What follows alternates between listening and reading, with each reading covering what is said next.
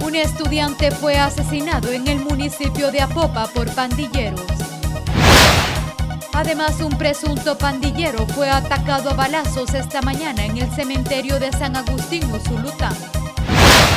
En más información, la Policía Nacional Civil de la Unión presentó a un supuesto pandillero vendedor de drogas. Continuando, la divulgación de la ley de adopción se realizó este día en la ciudad de San Miguel.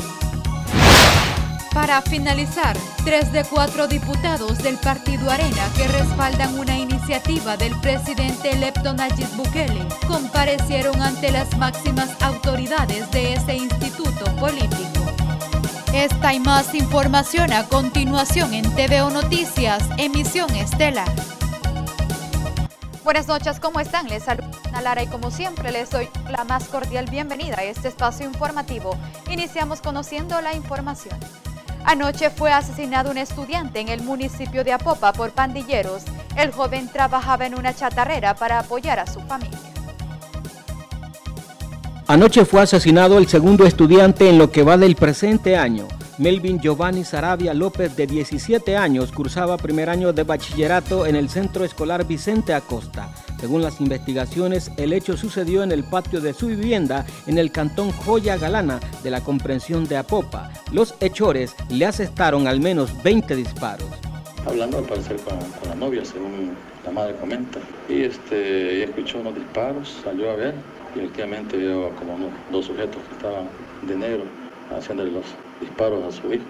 Las autoridades fueron claras en señalar que al momento no se tienen mayores datos de los responsables. Eh, no conoce la familia, no conoce los sujetos que llegaron, para ellos son desconocidos, pero sí no se tiene mayor este, información sobre el caso, porque al comentar así con los vecinos y con la misma familia, manifiestan que no tenía problema este joven acá en este sector. El padre del joven destacó que su hijo, aparte de estudiar, trabajaba para apoyar en el hogar primer año de bachillerato. Aparte de estudiar, ¿a qué más se dedicaba a su hijo?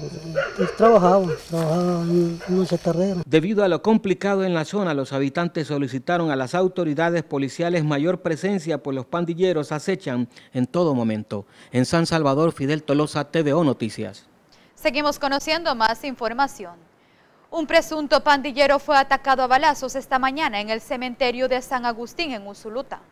En el cementerio de San Agustín Usulután, esta mañana sujetos rivales de una estructura atentaron contra un sujeto perfilado como pandillero, quien fue lesionado con arma de fuego y a raíz de ello trasladado con varias lesiones a un centro asistencial. De la zona de San Agustín se, tiene que a eso de las 8 de la mañana con 10 minutos estaban unos señores cavando una tumba en el cementerio para un familiar y este, entre ellos andaba un sujeto que Supuestamente se refiere al señor Santos de Jesús Enríquez, alias el Popeye, que supuestamente es un MS, y eh, algunos individuos de la zona en, eh, donde fue el, hecho este, en el cementerio, donde eh, se supone que delinque la Mara 18. Estos habrían identificado al, al rival y pues lo habrían perseguido lesionándolo con arma de fuego. Se presume que desde la noche antes el sujeto que fue atacado pudo ser identificado por los miembros de la estructura contraria. Sin embargo, el oficial de servicio aseguró que ya investigan el caso. Dijeron que estaba grave, hasta, eh, el momento no sabemos este, cómo sigue el estado de salud de él. O sea que este lesionado estaba acabando la tumba.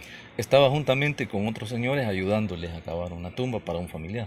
Eh, ¿Cómo lo manejan ustedes? ¿Un hecho ya planificado? ¿Ya sabían los atacantes que el estado tal vez fue algo fortuito?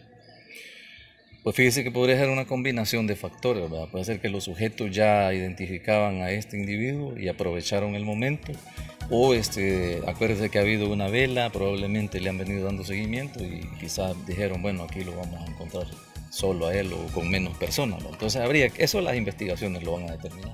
Popeye, de 28 años de edad, fue trasladado por un carro particular al hospital, donde recibe atención médica. De los atacantes, hasta el momento, la policía no tiene rastro, ya que estos se dieron a la fuga luego del ataque. Con imágenes y edición de Edgar Chávez para TVO Noticias, Nelson Rivera. Seguimos conociendo más información.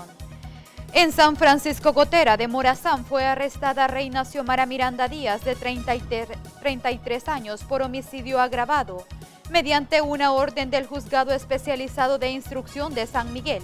La captura la realizaron agentes de la sección de vida de esa delegación. Con esta información realizamos nuestra primera pausa comercial.